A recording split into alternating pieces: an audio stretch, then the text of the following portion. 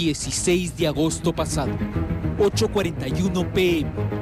Cajeros automáticos del Banco de ubicados en la avenida Javier Prado. Un hombre de apariencia extranjera ingresa con una pequeña maleta y empieza a retirar varias veces los montos máximos que la máquina le permite. Luego de varios minutos se retira e ingresa un segundo tipo a realizar lo mismo.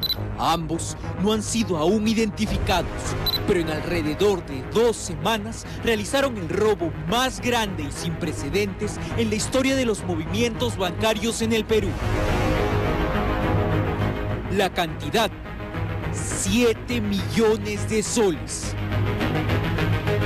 Los movimientos incluían retiros de cuentas europeas, a través de la que sería un grupo de personas que trabajan fraudulentamente en dos continentes. Una operación de película ocurrió en Lima. En este caso, el Banco de la Nación detectó un conjunto de operaciones sospechosas vinculadas a una tarjeta de crédito de un banco griego. ¿Griego? Así es, un banco griego cómo es que se realizaron miles de operaciones bancarias de una cuenta griega en Lima. Hemos detectado, haciendo el matching de las operaciones con los montos retirados, que dos personas por lo menos identificadas ya en rasgos físicos, no tenemos sus identidades, serían eh, el último eslabón dentro de esta cadena.